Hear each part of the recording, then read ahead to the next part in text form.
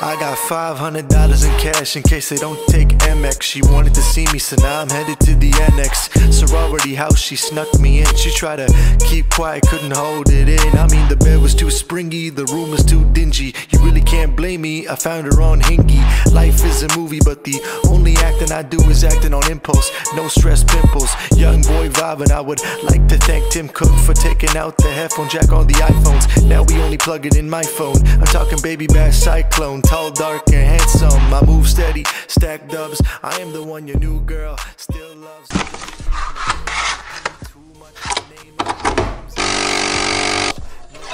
What's poppin' and welcome back to another video. Today we're gonna be starting our coding after we did the whole beta test, blah blah blah blah blah. So we got a lot of feedback from the beta test and we were like, okay, we need to make these changes, these are the things we need to do, and today we're gonna start doing this. It's the 3rd of April 2022. I haven't coded for like a month because I've just been doing other stories and obviously been quite distracted in general to be fair with you. But today we're gonna start it again. I did some coding yesterday, last night as well. It's harder than I thought. I had this one issue which was like to solve dependency on Wi-Fi and just say that if, you, if there's no Wi-Fi we show warnings and you can't use that without Wi-Fi because you're offline.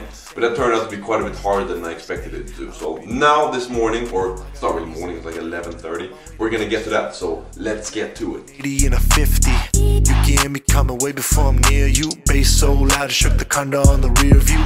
Yeah, I'm a big screen bunda. All I see is green, you don't see color. Yeah, and my drink. There was actually quite a lot bit more of razzle dazzle in regards to this whole Wi-Fi thing than I expected. It was quite a lot more difficult than I thought. I was like, okay, let me start with something easy with this whole coding sprint and I'll just do this in an hour or two and then I'll be done with this one and I'll have the feeling to, you know, continue. But it was so much harder than I thought it would be.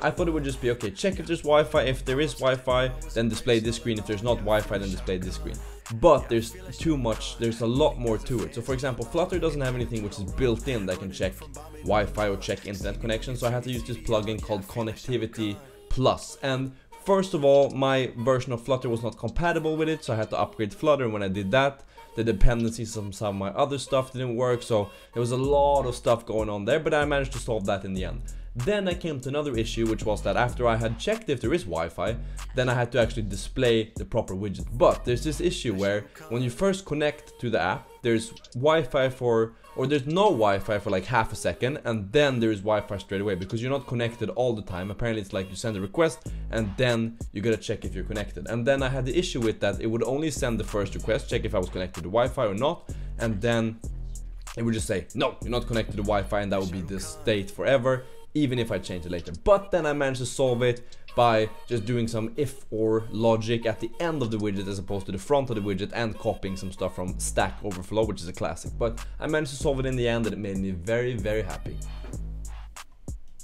Alright, that took me like probably 5 hours in total. 2 hours today, it's like 1.30 now. And it's uh, and I probably did 3 hours of this yesterday. But now I finally found the solution on how to check for internet connection. And then depending on if there's internet connection or not, throw a certain screen and then another screen if it's not. Let me show you what I mean exactly. As usual, here we have the app. And if we reload the app, since we have Wi-Fi right now, everything, uh, everything works. But then if, for example, if we turn off Wi-Fi and reload it, we get this screen. So, and then we turn Wi-Fi on.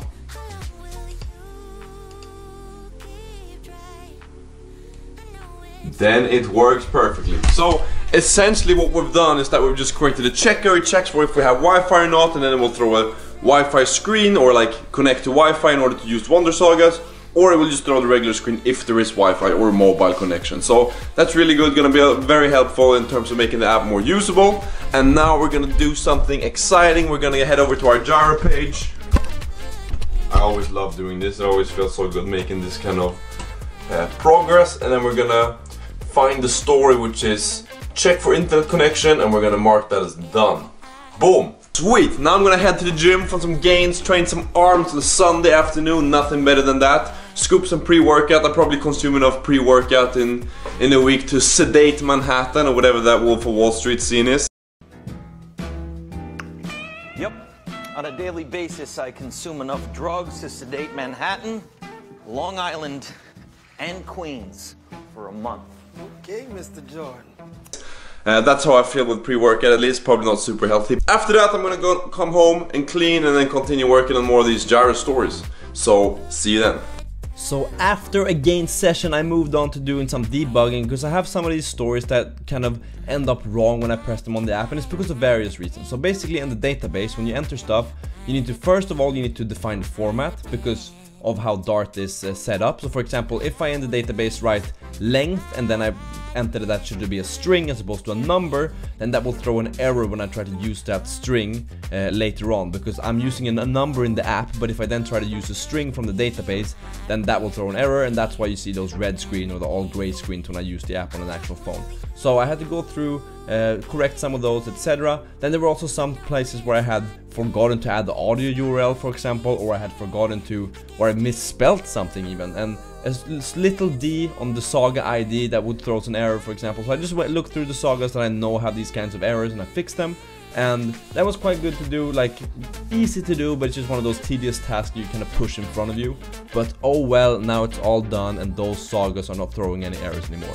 After this I moved on to the search page because on the search page it looks a little bit weird currently for the circular progress indicator. The circular progress indicator is what shows the progress for the loading and right now that doesn't really fit in the whole search page. So I had to reformat this, make sure that the loading page or the circular spinning thing was in the correct size and that it doesn't look weird and oversized. So that was quite a bit, uh, a little bit of work, but it was quite simple as well. So I did that and now it looks a whole lot better whenever I load the Saga. After all uniform size and they fit inside the respective boxes. So all in all, a good Sunday's work.